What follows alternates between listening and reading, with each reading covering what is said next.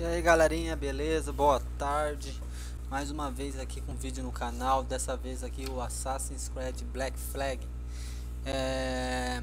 Trazendo um vídeo galerinha para ajudar vocês para como vocês conseguir a armadura templária.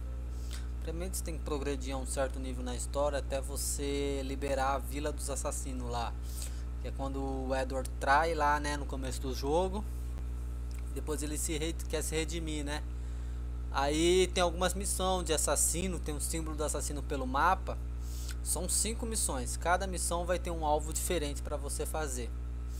Cada missão tem três, quatro mini missões que você vai fazer e no final delas vai matar o templário e catar a chave dele.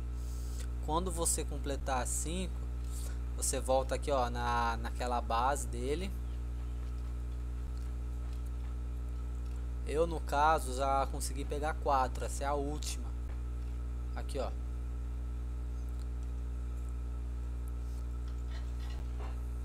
Aí agora liberou.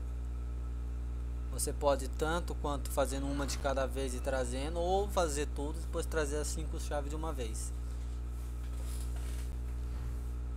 Aqui a armadura templária.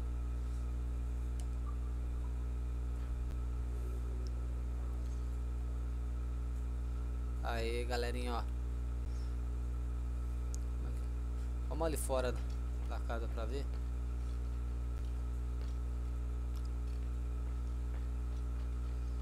Aqui, ó.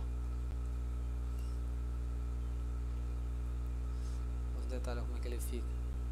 Ele fica um tanto quanto parecido com o Shake Cormac. E é isso aí galera, o vídeo vai ficando por aqui, um videozinho rápido, mas só para ajudar uma galera que talvez tenha dúvida de como conseguir essa armadura. Se inscreve no canal, deixa o like, comenta se possível. O vídeo vai ficando por aqui galera, valeu, falou, fui!